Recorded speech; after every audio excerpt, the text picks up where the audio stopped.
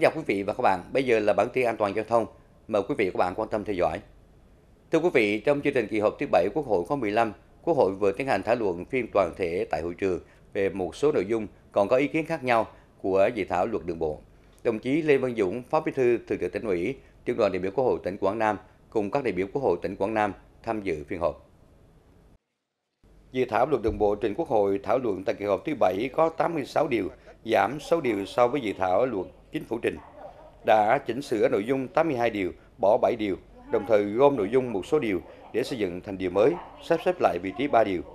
Cơ bản tán thành với nhiều nội dung của báo cáo giải trình tiếp thu chỉnh lý dự thảo luật đường bộ trình Quốc hội tại kỳ họp này. Đại biểu Dương Văn Phước, Phó trưởng đoàn đại biểu Quốc hội tỉnh Quảng Nam đã góp ý cụ thể về một số nội dung mà dự thảo luật cần tiếp tục nghiên cứu xem xét bổ sung.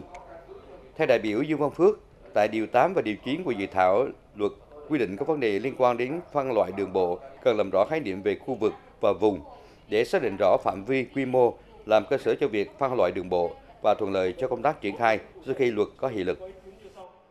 Tại điều 8, phân loại về phân loại đường à, bộ theo cấp quản lý và điều 9, phân loại đường bộ theo chức năng phục vụ.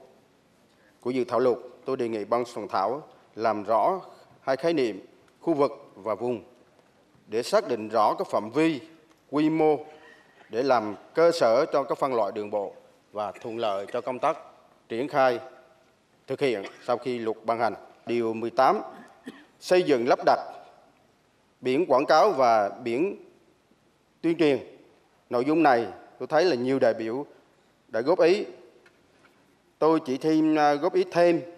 là biển tuyên truyền có tác động ảnh hưởng đến kết cấu hạ tầng đường bộ, an toàn giao thông như biển quảng cáo nên đề nghị điều chỉnh khoảng 5 điều 18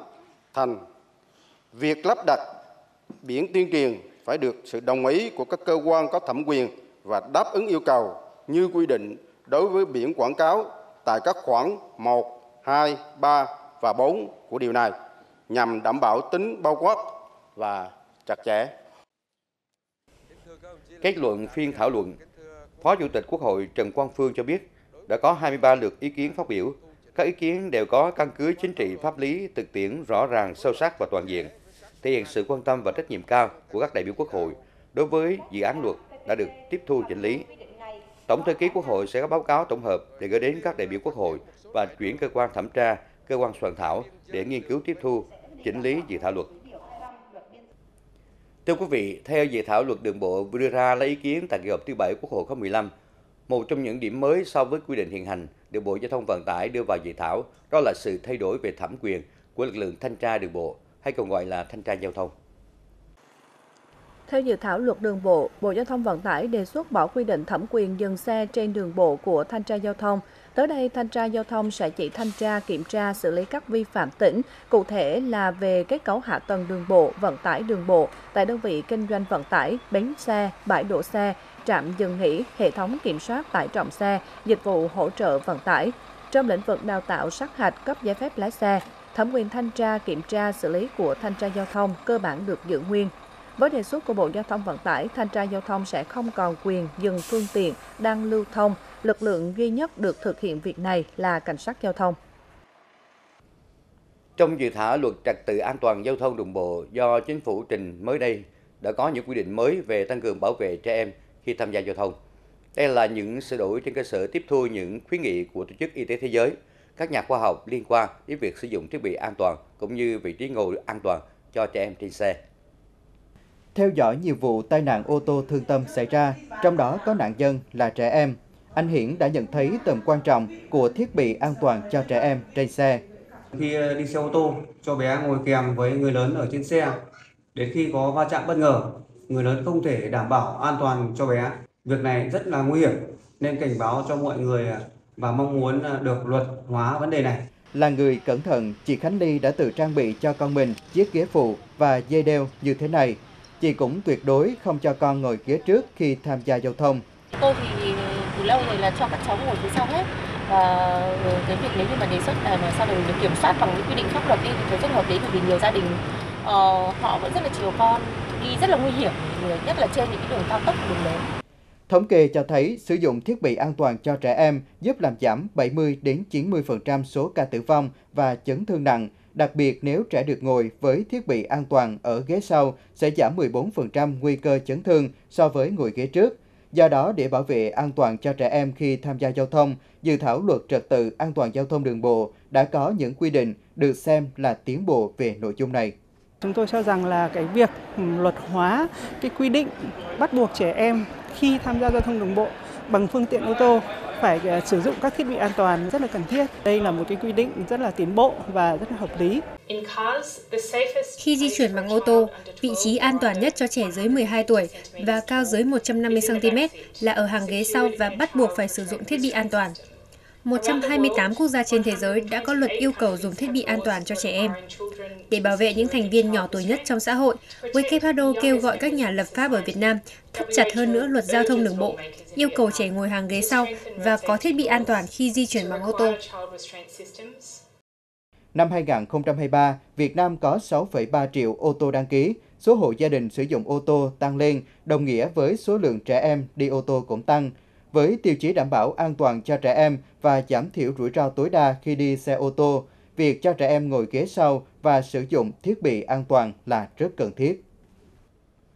Tại nhà sinh hoạt cộng đồng thôn A Sờ, xã Mạc Coi, huyện Đông Giang, Ủy ban Mặt trận Tổ quốc Việt Nam tỉnh Quảng Nam, Ủy ban Mặt trận Tổ quốc Việt Nam huyện Đông Giang, Ban An toàn giao thông huyện Đông Giang vừa phối hợp tổ chức hội nghị tuyên truyền luật giao thông đường bộ cho nhân dân xã Mạc Coi xã mà coi được Ủy ban Mặt trận Tổ quốc Việt Nam tỉnh Quảng Nam chọn xây dựng xã điểm về tuyên truyền an toàn giao thông năm 2024.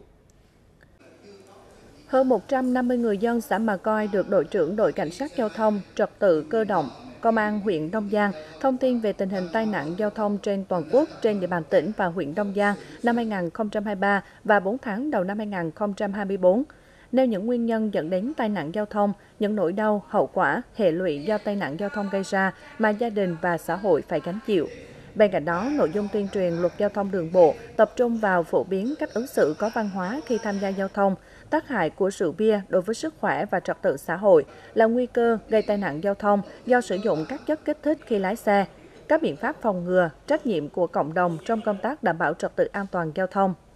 Cùng với việc tuyên truyền, người dân còn được phát tài liệu về luật an toàn giao thông được soạn thảo dưới hình thức hỏi đáp, dễ đọc, dễ hiểu, đồng thời trao tặng 10 mũ bảo hiểm cho người dân có câu trả lời chính xác về luật giao thông đường bộ. Tại hội nghị, lãnh đạo xã Mà Coi, Ban Nhân dân, Ban công tác mặt trận các thôn và các hộ gia đình trên địa bàn xã Mà Coi đã ký cam kết xây dựng khu dân cư và gia đình đảm bảo trật tự an toàn giao thông. Từ ngày 1 tháng 6 tới, xe khách tuyến cố định không đảm bảo đủ 70% số lượt chuyến một tháng sẽ bị thu hồi lốt. Điểm mới này trong Nghị định 41 năm 2024 của Chính phủ được kỳ vọng sẽ chấm dứt tình trạng lốt ảo tại các bến xe. Trước đây, doanh nghiệp hợp tác xã bị đình chỉ khai thác tuyến và phải nộp lại phù hiệu cho cơ quan cấp khi doanh nghiệp hợp tác xã không hoạt động kinh doanh vận tải trên tuyến trong thời gian 60 ngày liên tục. Nay Nghị định 41 đã sửa đổi, doanh nghiệp hợp tác xã bị thu hồi đăng ký khai thác tuyến đối với lốt tài đang khai thác khi trong một tháng thực hiện dưới 70% tổng số chuyến xe của lốt tài đã đăng ký.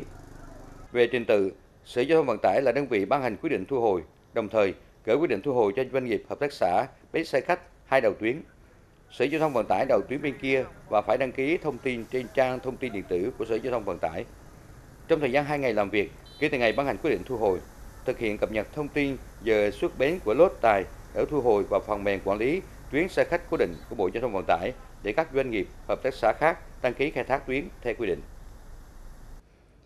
Bản tin an toàn giao thông hôm nay sẽ được tạm dừng tại đây. Cảm ơn quý vị và các bạn đã quan tâm theo dõi.